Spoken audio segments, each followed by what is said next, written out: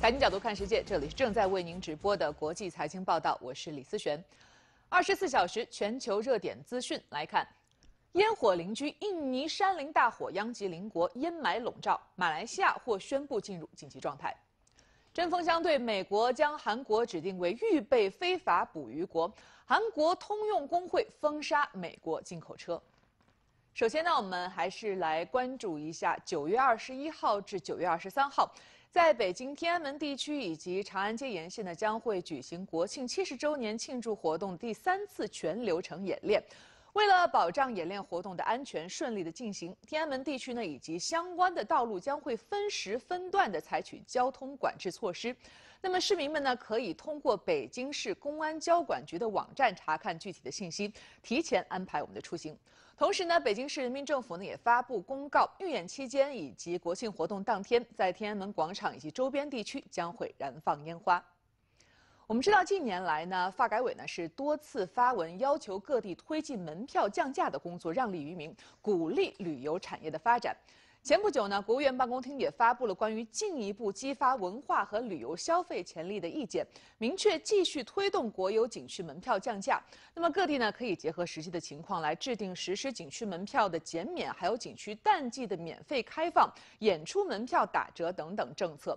临近十一黄金周，我们看到河南、浙江、湖南、山东等多个省份呢，出台了景区门票的降价或者是免费的措施。在近日呢，湖南长沙市发改委发布了关于优化景区门票结构以及降低部分景区门票价格的通知，宣布呢，自十月一日起，优化长沙天心阁阁楼门票、长沙生态动物园门票，并且呢，降低长沙靖港古镇景区还有长沙光明蝴蝶文化主题公园的门票价格。在浙江省呢，有着一千六百多年历史的江南第一大佛新昌大佛景区呢，十一也将会降价。而在山东的泰山景区、三孔景区等多个景区呢，都调低了价格。要知道，眼下呢正是宁夏的酿酒葡萄收获的黄金时间。在贺兰山东路呢，五十七万亩酿酒葡萄呢，将曾经的山荒地变得美丽丰饶。越来越多的葡萄酒的酒庄也都扎根在了这里，丰收的喜悦在这片土地上尽显。我现在是在宁夏贺兰山东路的酿酒葡萄基地。一大早呢，这里就是一派繁忙的景象。在我身旁，大家看到的这一箱箱的酿酒葡萄，就是工人们刚刚采摘上来的。我们来看这个葡萄的果实，都非常的均匀饱满，而且颜色呈现深紫色，这些都说明果实的品质非常的好。那么今年呢，由于降水量少、温度适宜等有利的气候条件，加上越来越规范的科学化种植和管理，让这里酿酒葡萄的产量比往年要提高百分之二十到四十。葡萄园里，一串串酿酒葡萄正丰收待摘，工人们正在采摘的葡萄品种主要是赤霞珠、西拉等品种。它和鲜食葡萄相比，果粒要更小。呃，今年也八九年了。但是在种植这个呃方面来看，这八九年之间啊，今年葡萄丰收是最好的一年。葡萄着色期的时候，还膨大期的时候，它的那个温度，它基本都在二十到三十度这样。所以说，葡萄总体上的果粒，啊，很均匀，很饱满。那个整个的它的气候各方面都比较平衡，这是一个。第二呢，这还有是一个管理也很关键。啊，像去年就不好，去年病虫害多，今年病虫害少。然后这我们管理今年的很到位，今年的跟往年那比，都增长最少百分之二十。近年来，宁夏大力发展葡萄酒产业。目前，贺兰山东路酿酒葡萄种植面积已经有五十七万亩，当地建的酒庄有五十七家，增加到如今的上百家。这里出产的葡萄酒多次斩获国际金奖。今年收获的这些高品质葡萄，对酿酒行业来说意味着一个好年份。今年的原料质量是这三年来是最棒的。那么在酒庄里面，我们做出来的酒的话，不管是从颜色、香气还是口感，都要优于前面两年。那么我们会尽我们所能做出好的产品。那么消费者也可以期待安利酒贺兰山东路的这个产品。现在呢，又到了一年瓜果飘香的季节。陕西省多地的猕猴桃、无花果、葡萄，还有冬枣等长势喜人，一派丰收的景象。最近又到了猕猴桃上市的季节，由于生长期雨水丰沛，今年宝鸡眉县的猕猴桃长势喜人，全县三十多万亩猕猴桃预计产量可达四十九点五万吨，产值将突破五十亿元。在眉县金渠镇京东快递的网点前，正忙着帮果农发快递的青年叫罗斌。在外地工作的他，每年到了这个季节，就会像候鸟一样准时回到老家，利用自己的电商平台和代理快递业务，帮家人和乡亲们销售猕猴桃。眉县的话，像我像我这种的话比较多，在外面上班的，然后一到这个季节呢，都回来帮父母，呃，在网上推销猕猴桃，销售发件的话，一天能发个一千单左右，三个月下来能赚个二十万左右吧。截至目前，眉县有各类电商企业四百六十七家，个人电商经营户达到四千多户，快递网点已覆盖到每个自然村。截至九月中旬，发货量已经累计五百五十多万件。同样忙着收获的还有杨凌柔谷镇白龙村无花果种植户们，挂满枝头的无花果让整个基地都弥漫着丰收的果香。我们这个产量，目前到目前已经销售了有二十万斤，然后市场整体这个销售额已经达到了三百多万。近日，咸阳兴平市陈文村的八万多斤冬枣已经陆续上市，香甜脆爽的口感赢得了市场的青睐。这是我种的二十亩冬枣园，预计能达到八万斤左右。现在目前的销售价，市场收购价是十块钱左右。我发快递，现在基本能达到，已经达到十八块钱。啊，口感特别好。目前是订单是络绎不绝，说根本不成销路。我们再来看一下，根据路透社的报道，在当地时间的十九号的晚上，在美国首都华盛顿特区，那么距离白宫大约三公里的街区发生了枪击事件。当地的电视台援引警方的声明称，至少有六人被枪杀。目前呢，大批的警力已经到达了事发现场。我们再来看一下，最近几周呢，印度尼西亚苏门答腊和加里曼丹地区呢发生了严重的森林火灾。大火引发的浓烟不仅污染了印尼的空气，还波及到了邻国的马来西亚、新加坡还有泰国等国。当地时间十九号，马来西亚政府就宣布，如果说空气污染指数突破了五百五百点，那么就将会启动机制来宣布受影响的地区进入到一个紧急状态。受印尼森林火灾影响，几周以来。马来西亚多个地区一直笼罩在烟霾之中，大部分地区的空气质量处于不健康或非常不健康的水平。马来西亚首都吉隆坡的著名地标建筑双子塔在厚厚的烟霾下也变得模糊不清，许多到此参观的游客因为看不到美丽的景色而大失所望。相关部门表示，受连日烟霾天气的影响，当地生病就医的人数急剧增加，很多民众称感到眼部不适。十九号与二十号两天，马来西亚全国近两千五百所学校停课，至少一百七十万学生受到影响。由于能见度变低，霹雳州苏丹阿斯兰沙机场的所有航班被取消。马来西亚政府表示，一旦空气污染指数突破五百点，就将启动机制，宣布受影响地区进入紧急状态，同时还将进行人工降雨。驱散浓烟。What we can guarantee is that the government is is ready to do cloud seeding whenever it is possible. Whenever the cloud situation, we want to bring even temporary relief. 马来西亚的邻国新加坡近几周也被从印尼飘来的烟霾所笼罩。随着烟霾情况日益恶化，人们开始担心本周末将于新加坡举行的一级方程式大奖赛 F1 会受到烟霾的影响。此外，这波烟霾还影响了泰国南部地区。十九号，泰国南部宋卡、沙敦、雅拉和北大年等四个省的烟霾达到危险级别，相关部门警告当地民众尽量不要进行户外活动，离开室内时要佩戴口罩。据悉，本次印尼的森林火灾是由于印尼农民烧疤垦荒，为新的种植季做准备引起的，但目前印尼方面否认了这一说法。为了控制此次森林大火，最近几周，印尼政府已经派出数千名军人和警察来参与灭火。那么，此次影响东南亚多国的烟霾污染可能造成的经济损失有多大呢？林火和烟霾背后还有哪些经济原因呢？我们来看一看 CNBC 财经评论员从新加坡带来的观察和分析。本次林火和烟霾可能带来的损失是多方面的。那除了人员伤亡之外，起火附近的生物多样性遭到破坏，而起火也造成当地棕榈种植和工厂生产受到中断。受烟霾影响，包括新加坡在内的东南亚多个国家已经取消了不少航班。而印尼当地媒体报道，一些国外旅行团也已经取消了原定赴印尼的旅行计划。在现阶段，对于这一次林火和烟霾污染的具体损失还很难计算，但它已经成为了2015年东南亚烟霾危机以来最严重的一次。据世界银行估算，在2015年9月份的烟霾危机中，单单印尼一个国家的损失就达到了约160亿美元。这其中涵盖了对农业、林业、贸易、旅游业和运输业的影响，以及学校停课、紧急响应和灭火以及对环境的影响。对民众健康的短期影响是包括在内，但是长期影响无法评估。目前，关于烟霾的具体原因和规则，在印尼和马来西亚以及其他受影响国家之间还存在一些争议。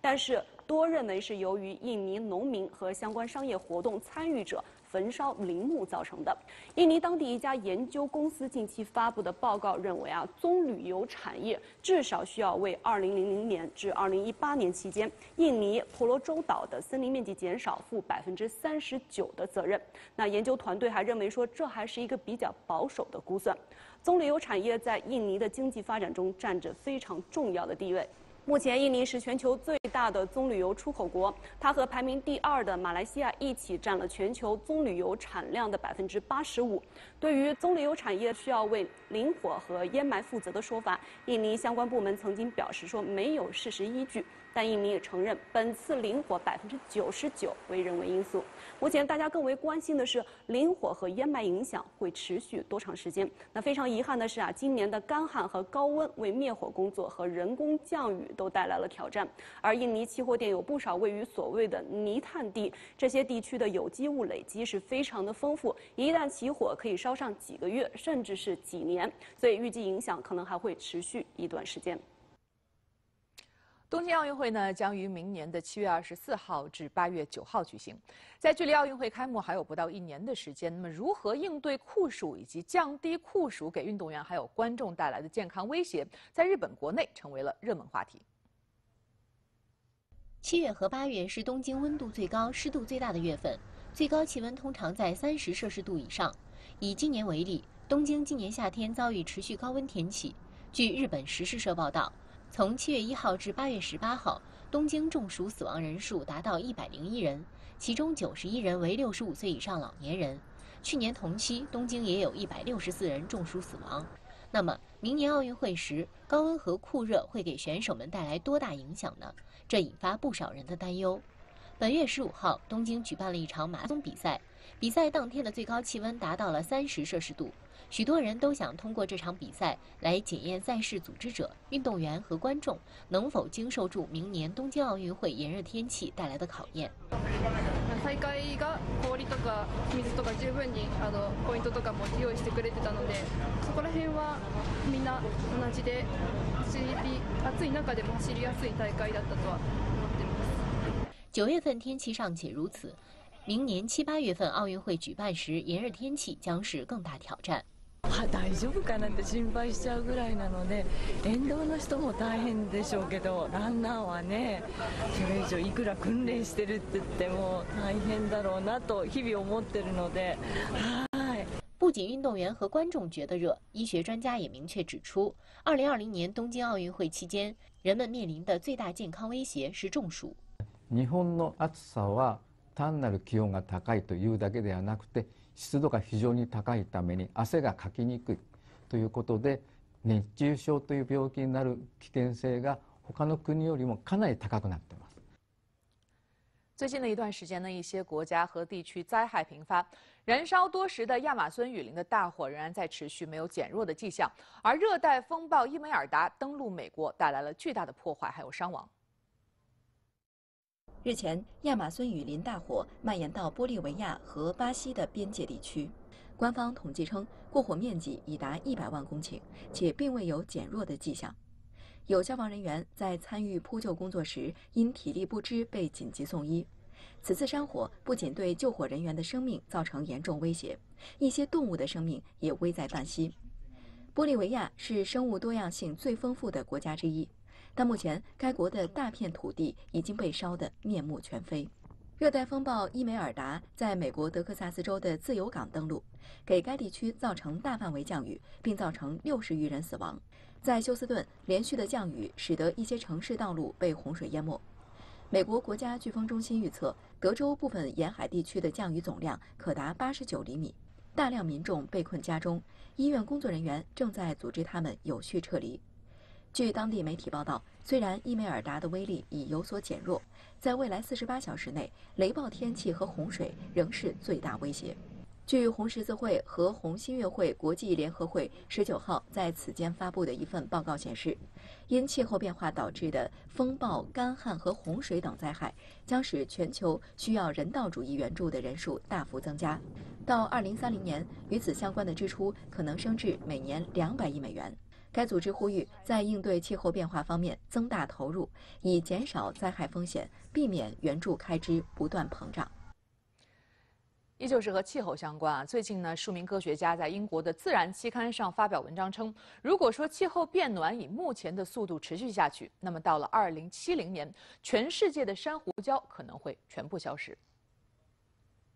正常情况下，珊瑚会呈现多种色彩，这些颜色来自寄居的藻类。这些微小的共生藻通过光合作用为珊瑚提供能量，而海水温度上升会让这些藻类消失，珊瑚就会白化。最终因营养不良而死亡。以世界上最大的珊瑚礁群澳大利亚大堡礁为例，由于厄尔尼诺现象和全球变暖导致的海水升温，2016年和2017年大堡礁连续两年出现大规模珊瑚白化现象，特别是2016年，约67%的珊瑚白化，受影响最严重的品种死亡率高达90%以上。不断升高的海水温度还破坏了珊瑚的再生能力。今年四月的一项研究发现，大堡礁新生珊瑚数量比历史水平下降了百分之八十九。原本物种丰富的珊瑚礁群发生退化，还导致鱼类、海鸟等生物的栖息环境遭到压缩。八月底，大堡礁海洋公园管理局发布了五年一次的大堡礁体检报告，将大堡礁的前景展望从糟糕调低至非常糟糕。专家警告称，未来新的大规模珊瑚白化事件几乎无法避免。大堡礁珊瑚礁群存在整体崩溃的可能性。第七十四届联合国大会呢，已经于十七号在美国纽约开幕，但是因为沙特石油设施遇袭，美伊关系剑拔弩张，伊朗能否出席联合国大会呢，也因此存疑。二十号呢，根据路透社的最新消息，伊朗总统鲁哈尼还有伊朗外长扎里夫已经获得了美国政府发放的签证，可以赴美国纽约参加联合国大会。十九号，伊朗外交部长扎里夫再次否认了伊朗和沙特阿拉伯石油设施遇袭事件有关联，同时呢发出警告：如果说伊朗遭到了军事打击，那么会引发全面战争。伊朗方面表示，伊朗总统鲁哈尼和伊朗外长扎里夫已获得美国政府发放的签证，扎里夫将于二十号抵达纽约联合国总部，鲁哈尼则将于二十三号抵达。十九号，沙特国防部的防空警报在首都三个区域上空鸣响。据了解，这次防空警报演练没有影响利雅得市民的正常工作和生活秩序。伊朗外长扎里夫当天接受美国有线电视新闻网采访，当被问及如果美国和沙特对伊朗发动军事打击，伊朗将如何应对时，扎里夫警告说，若对伊朗进行军事打击，伊朗将发动全面战争。他说，伊朗不想进行军事对抗，但为了捍卫国家和领土，伊朗不会后退。扎里夫在采访中同时表示，伊朗希望避免冲突，且愿意与沙特及阿联酋对话。不过，他也强调，除非美国履行2015年签署伊核协议时的承诺，全面解除对伊制裁，否则不可能恢复与美国的谈判。扎里夫在采访中再次否认伊朗参与了对沙特石油设施的袭击事件。他表示，宣称对此事负责的也门胡塞武装也已加强了军事能力，他们有能力发动类似的军事行动。十九号，法国外长勒德里昂呼吁为局势降温。同一天，俄罗斯外交部长拉夫罗夫也呼吁避免紧张局势升级。沙特国防部十八号公布了沙特石油设施遇袭初步调查结果，调查显示，袭击事件中包括伊朗生产的无人机和新型导弹，并认定袭击与伊朗有很大关系。对此，伊斯兰革命卫队总司令侯赛因·萨拉米十九号表示，伊朗目前非常强大，以至于一些国家错误地胡乱指责伊朗是任何地区性事件的幕后黑手。他同时补充说，伊朗边境地区的武装力量已处于高度警戒状态，以应对当前局势。在当地时间的十九号，美国国家海洋和大气管理局呢向众议院提交了报告书，将韩国列为了预备非法捕鱼国。有相关的话题呢，马上来连线一下在韩国首尔的财经频道特约记者张小娟。小娟你好，我们知道目前呢，这个美国是将韩国列为了预备非法捕鱼国，这个词究竟是一个什么样的意味？而且呢，近期韩美两国在经贸合作的动态上有哪些方面是值得我们去关注的呢？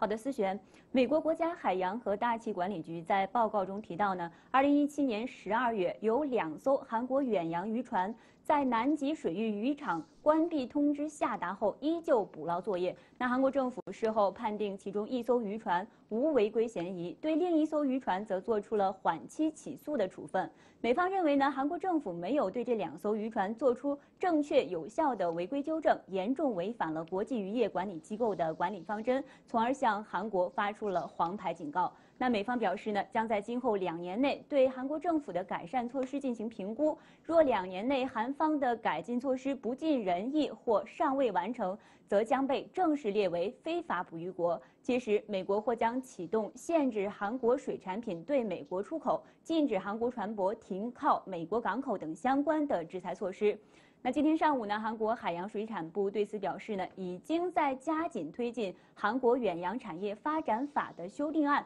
目前，新的修订的法案呢，正在国会审议当中。另外，就近期韩美在经贸合作的最新动态上呢，我们还关注到，继韩国通用汽车工会的全面罢工之后呢，昨天韩国通用汽车工会表示呢，将从本月二十四日起发起抵制购买通用汽车新车型的运动。那受抵制的新新车型呢，为通用汽车在美国生产的两种新车型，韩国通用汽车从美国进口后在韩国销售。分析认为呢，韩国通用汽车工会意在通过此举向美国通用汽车施压，以争取韩国通用汽车今后可以获得更多的订单。目前，韩国通用汽车的仁川工厂呢，尚未得到2022年后的新车型生产计划，而如果一直没有新车型生产计划的话，届时工厂或将面临规模缩小甚至关闭。以上是我们在首尔的观察。好的，谢谢小娟带给我们的观察和分析。我们再把视线转向欧洲。法国财政部长勒梅尔十九号呢，在与德国财政部长肖尔茨以及德国经济和能源部长阿尔特迈尔共同举行的新闻发布会上表示，美国和欧盟之间的航空业补贴争端仍然没有得到解决。那么，欧盟呢，希望能够和美国共同找到令双方满意的解决方案。不过呢，如果说美方没有意愿解决争端，并且对欧盟施加制裁，那么欧盟也随时准备好向美国施加报复性关税。勒梅尔还强调呢，贸易摩擦对于任何人都没有好处。但是如果说面对美国的制裁，欧盟除了反击别无选择。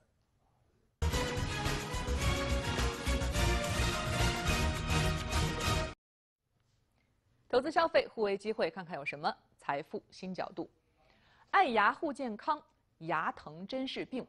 我国的居民牙周病的患病率呢是百分之九十，需求日增。我国口腔清洁护理用品市场的规模大约是二百四十亿元。新规新算法，五年期以上 LPR 利率维持在百分之四点八五，关联房贷利率早知道。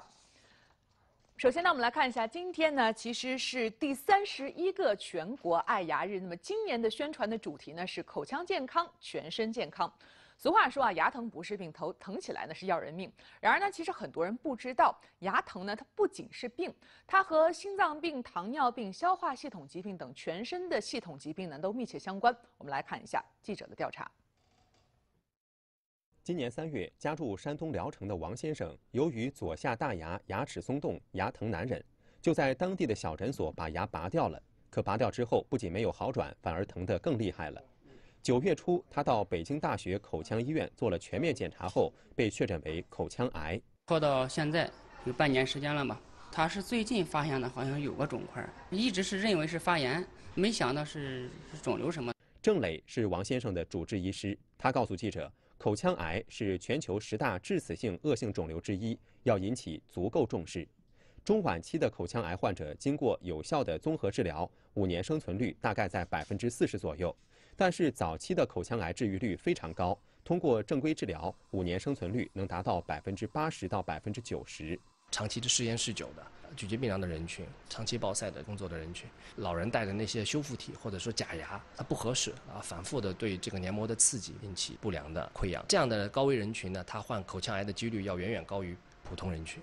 欧阳祥英从事口腔牙周研究三十六年，他告诉记者，牙周病是最常见的口腔疾病之一。我国近百分之九十的成人患有不同程度的牙周疾病。牙周病不仅和牙齿有关，还与多种疾病密切相关。牙周疾病跟糖尿病呢是呃相互影响的，这个关系是非常明确的啊。那么患牙周疾病呢，就是也发现跟心血管性疾病、早产低体重儿或者消化系统疾病呢，它的患病风险是增加的。孕妇她有中重度的牙周炎，她发生早产和低体重儿的这个比率要升高将近八倍。专家认为。菌斑和牙石是导致牙周病的罪魁祸首。虽然我国提倡早晚两次刷牙多年，但是从第四次全国口腔健康流行病学调查的结果来看，刷牙情况最好的是三十五到四十四岁年龄组，这个年龄组也只有百分之四十七点八的人每天刷牙两次或以上的牙，其他年龄组这一比例仅刚超过百分之三十。我们如果能做到每天早晚两次刷牙，然后餐后跟零食后就漱口，然后刷牙的时候使用含氟牙膏，我觉得能做到这个就已经非常非常的好了。随着老百姓对于口腔健康的不断重视，近年来呢，中国的口腔清洁护理用品行业呢得到了迅猛的发展。中国呢迅速成为了世界口腔清洁护理用品最大的生产国，同时也是最大的消费国。家住北京的刘先生从小就注重牙齿保护，半年或者一年会洗一次牙，饭后会使用牙线漱口水。因为我们家里两个人，然后牙刷的话两个月大概换一次，牙膏的话基本上两个月用一管儿，再加上牙线、漱口水，一年花费在四百到五百左右。北京一家大型超市负责人告诉记者，口腔清洁护理用品属于高复购、高渗透率的产品，在生活用品中销售占比较高。主要以牙膏、牙刷为主，还包括漱口水、牙线、舌苔清洁刷等。这三个月呢，基本上是每个月以大概百分之十的一个增长率在增长。像漱口水啊，嗯，还有那个口喷这这类的商品，增幅是比较大的，跟去年相比，大概三倍的一个增长速度在增长。不仅在线下，线上口腔清洁护理用品的销售额也呈上升趋势。天猫平台数据显示，二零一九年四月至八月。电动牙刷、电动冲牙器等口腔清洁护理仪器销售额同比增加百分之八十七，牙线、漱口水、口腔清新剂等非仪器产品同比增加百分之四十八，其中牙粉增长最为明显，销售额同比增加百分之一百八十二。我们口腔类的那个产品呢，近五年一直是保持在大概百分之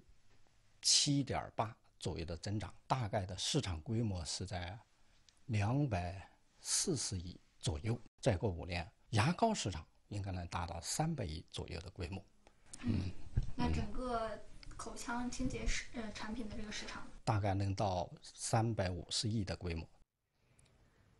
在今天上午呢，全国银行间同业拆借中心发布了新一期的贷款市场的报价利率，也就是大家所说的 LPR。那么一年期的 LPR 呢是百分之四点二，比上个月呢下调了五个基点，而五年期以上的 LPR 呢是百分之四点八五，和上个月保持一致。从十月八号起，新发放的个人住房贷款利率呢，将会以今天公布的 LPR 为基准加点形成。那么，记者了解到呢，全国的多个城市的银行已经明确了房贷利率的报价细则。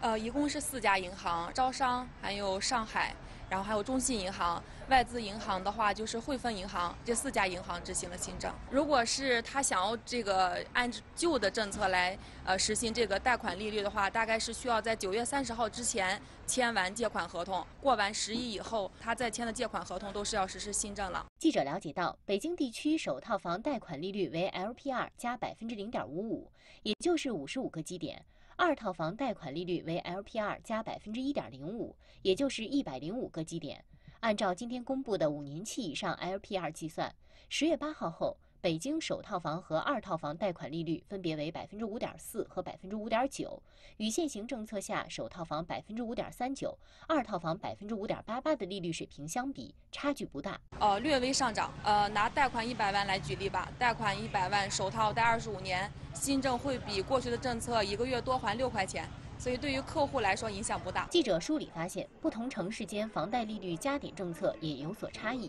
不同的房价走势影响着房贷利率加点的幅度，会根据当下我们这个城市的房产市场的特点或者它的变化的这个趋势来进行判别。比如说我现在的房价的上涨的幅度比较高，那我可能在这个利率上再往上呃加点上往上调一些。啊，这种加点呢，它更加灵活，它每个月可以一调节，相当于对于市场的变动形成了一个动态的反应机制。在九月十九日呢，由中国电子视像行业协会主办的首届全球激光显示技术与产业发展论坛在青岛开幕。全球激光显示产业链的近百家中外企业的人士呢，共同来谋划激光显示产业的未来。激光显示是全球第四代显示技术，具有健康护眼和超强的色彩表现力、超大屏幕、节能等传统显示技术无法企及的优势。对于长期饱受日韩显示技术和产业控制的中国企业而言，蕴藏着实现技术反超的机会。激光电视未来可以大有可为。从这个激光电视，嗯，自身的产品技术特点来讲，它是可以，嗯，这个已经建立了，嗯，在超大尺寸方面的显著的优势。然后随着技术的不断的进步和发展，相信能够在这个更小尺寸上，能够为消费者提供更多的惊喜。据了解，中国已经被选为国际电工委员会激光显示工作组的召集国，主导和参与制定了多项国际电工委员会国际标准。激光显示技术也成为首次由中国企业主导掌控产业链话语权的颠覆性创新技术。这个产业实际上中国布局是非常早的，而且这些产品在全球也是具有国际化的竞争力的。那么我们其实觉得，呃，整个显示向这个超大尺寸进化演进这个过程中，激光电视将扮演非常重要的角色。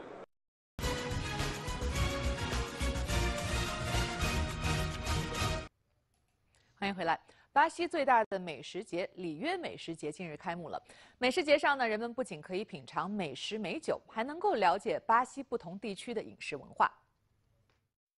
在本届里约美食节上，人们可以品尝到巴西国内各地区的特色佳肴，海鲜、肉类、蔬菜等各种食材相互搭配，构成了一道道色香味俱全的巴西美食。